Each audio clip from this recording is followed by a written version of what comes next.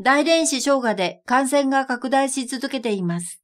ある市民は集合住宅の出入り口に封印シールが貼られたほか、現在はそれに加え、警報器も設置され、家から出たら捕まってしまうと明かしています。大規模な隔離措置を行っても、収容する隔離施設が不足したり、住環境が劣悪だったりすることに、住民から怒りの声が上がっています。当局の公式発表によると11月17日、大連市で新たに現地発生の症例が見つかりました。当日の統計データによると、今回の感染拡大における大連市の感染者は少なくとも280人です。中でも生姜市の状況が最も深刻で、12日には生姜市の各戸の入り口に封印シールが貼られました。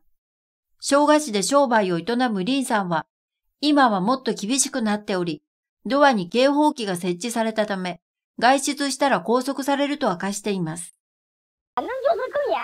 どのみちもっと厳しくなりました。今は全く外出させてもらえないのです。すべての店舗のドアに封印シールが貼られ、家にも貼られています。しかもドアに警報器が設置されたので、一歩外に出たらすぐにバレて直ちに捕まります。今は人を捕まえることに力を注いでいるのでもし自由に外出したらすぐ捕まります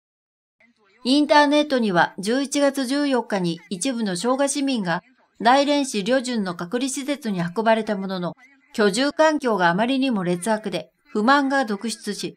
車から降りるのを拒否する市民の様子を撮影した動画が投稿されています。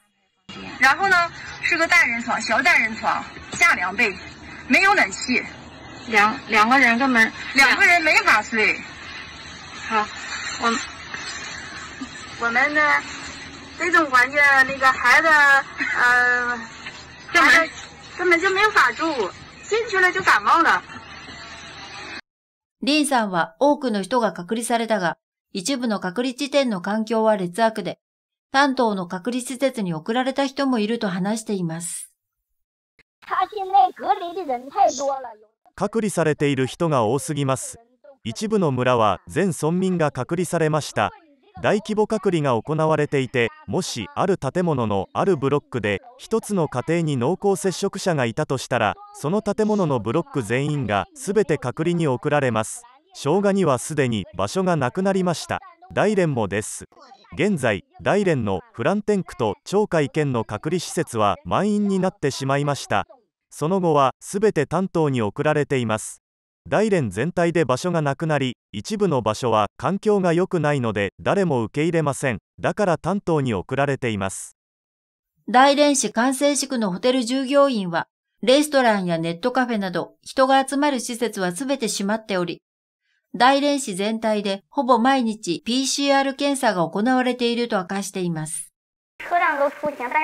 管制宿でも感染が拡大してバスなどは動いていますがレストランや人が集まる場所はすべて閉まっています。入浴施設やネットカフェもです。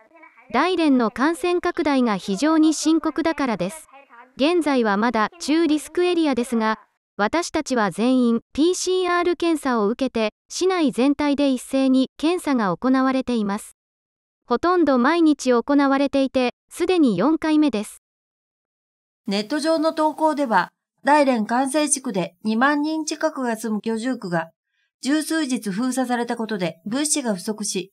どうやって生きろというのかと不満をこぼしています。NTD ジャパンがお伝えしました。